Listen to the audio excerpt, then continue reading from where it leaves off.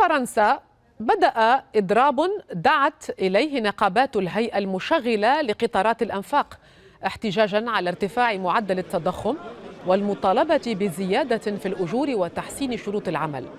وقد تجمع المضربون أمام محطات القطارات والمترو وسط مطالبات برفع الأجور بعد ارتفاع تكاليف المعيشة. ينضم إلينا من باريس الكاتب والباحث السياسي محمد كلش. مساء الخير سيد محمد كلش. كل هذه الإضرابات أهلا مرحب الإضراب المتعلق بمترو الأنفاق إلى أي مدى برأيك يضغط على الحكومة الفرنسية التي تعاني أصلا من ضغوط أخرى متعلقة بارتفاع أسعار الطاقة عموماً؟ يعني الضغوط على الحكومة مستمرة مستمرة منذ الانتخابات التشريعية والانتخابات الرئاسية التي جرت في الربيع الماضي. هذه الحركة حركة الاستياء الشعبية هذه اليسارية بشكل خاص يعني مع كل الحديث عن أنها تعبر عن الاستياء من خفض القيمة الشرائية والتضخم وغلاء الأسعار إلى ما هنالك لكنها لا تخفي الصراع أو المواجهة المواجهة اليسارية المعارضة ضد الحكومة منذ منذ عدة أشهر وهي مستمرة في هذا في هذا السياق. وما حركة الإضراب اليوم إلا في إلا في هذا الإطار دون أن نخفي أن المواطنين الفرنسيين بشكل عام لا زالت القوة الشرائية دون دون ما قدمته الحكومة الفرنسية من مساعدات وخطط اقتصادية داعمة للمواطنين. عنيت بشكل محدد الواحد وسبعين مليار أورو فاصل ستة مساعدات إن كان ذلك لتجميد أسعار الطاقة تجميد أسعار الغاز التي ارتفعت 500% إضافة إلى دعم المحروقات النفط في محطات طيب. بيع آه. المحروقات في في في في في العامة إضافة إلى المساعدة في دفع الفواتير لكن التضخم في فرنسا نسبة التضخم بلغت 6.2% أي أقل من العشرة بالمئة التي سادت منطقة تقريبا سادت كل دول منطقة الأورو التسعة عشر رغم هذا نعم سيد كلاش لا زالت الرواتب طيب. دون المستوى. الستة فاصل نعم. ولكن ولكن هناك من يقول بأن حالة التعبئه هذه أيضا هي استباق للخطة المقبلة بشأن التقاعد وبشأن إصلاح نظام التقاعد في فرنسا.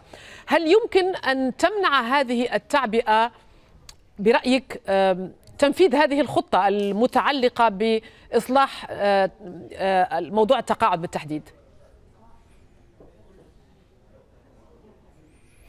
موضوع التقاعد موضوع شائك وموضوع لن يتم حسمه خلال خلال فترة قصيرة. سيتطلب الأمر كما هو واضح مناقشات طويلة وقد يصعب التوصل إلى نتيجة قبل أشهر لاحقة. لكن في كل الاحتمالات ماكرون الحكومة الفرنسية مصرة على هذا الموضوع على أن نصل إلى أن يكون سن التقاعد 65 65 عاما وهذا في تبرير ذلك أن الأمل بالعيش للفرد يزداد وبالتالي يجب أن يكون هناك تغطية تغطية مالية للمتقاعدين. من أين تأتي التغطية؟ من الصندوق العام. من يمول الصندوق العام؟ هم العاملون. فإذا فإذا توقف العمل عند سن مبكرة يصبح هناك نقص في هذا الصندوق.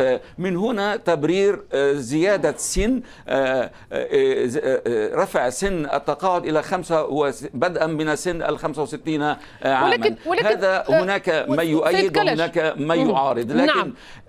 هذا الموضوع فيما يتعلق بسن التقاعد. لكن إذا تحدثنا نعم. عن قطاع النقل نفسه في باريس وفي فرنسا عموما قطاع مترهل يعاني من نقص الموظفين يقال بأن هناك انفجار في معدلات التغيب عن العمل إلى ما يعود ذلك في الفترة هذه الفترة الماضية هل هي من نتائج كورونا؟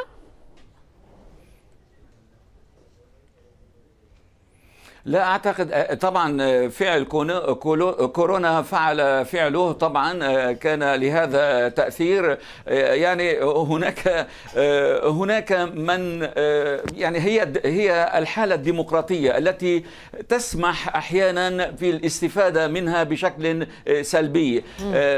هناك يعني حالات مرضية تبين لاحقا أنها غير صحيحة وكان الثمن طرد هؤلاء الموظفين الذين الذين قالوا أنهم مرضى ولم يكونوا مرضى من العمل. هناك من يقدم طلبا بالاستعداد للإضراب منذ خمس سنوات. منذ خمس سنوات وهو يقول بأنه مضرب داخل داخل شبكة النقل العام. طبعا لا يحق لأحد طرده من العمل. هي هي هي هو قانون العمل في في الديمقراطيات.